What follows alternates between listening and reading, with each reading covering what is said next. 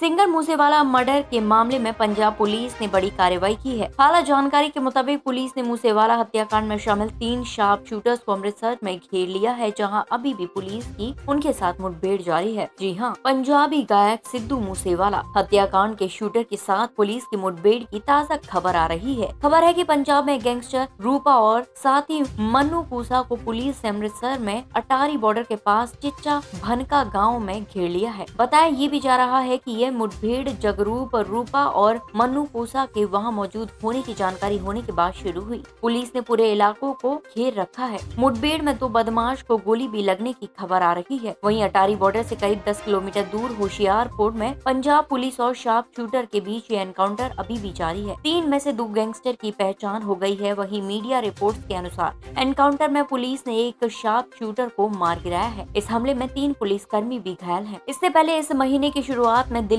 Police ने खुलासा किया था कि सिद्धू मूसेवाला की हत्या का एक मुख्य साजिशकर्ता वारदात से करीब एक महीने पहले ही देश से फरार हो गया था। इंटरपोल ने इससे पहले सतेंद्र जीत सिंह उर्फ़ गोल्डी बराड़ के खिलाफ रेड कॉर्नर नोटिस जारी किया था, जिसने मूसेवाला की हत्या की ज़िम्मेदारी ली थी। वहीं एक सीनियर पुलिस अधिकारी के मुताबिक सचिन विश्रोई हत्याकांड के षड्यंत्रकारियों में से एक है। सचिन और बराड़ ने मिलकर पंजाबी गायक की हत्या की पूरी योजना बनाई थी। आगे अधिकारी ने बताया कि सचिन अप्रैल में ही देश छोड़कर जा चुका था, जबकि गायक मूसेवाला की पंजाब के मनसा ज़िले में उनतीस मई को हत्या कर दी गई थी। वही दो दिन पहले, यानी सोमवार को पुलिस ने बताया की दो और लोगों को मूसेवाला की हत्या करने के मामले में गिरफ़्तार किया गया है, जिनमें से एक ने करीब से मूसेवाला को गोली मारी थी। इसके साथ ही दिल्ली पुलिस अब तक मामले में पाँच लोगों को गिरफ़्तार कर चुकी है। उन्होंने बताया की लॉरेंस गोल्डी बराड़ गिरोह के दो अपराधियों, अंकित सिरसा और सचिन भिवानी को रविवार रात को गिरफ़्तार किया गया। खबर में सिर्फ़ इतना ही, वही ऐसी और भी खबरें पाने के लिए देखते रहे M I M news express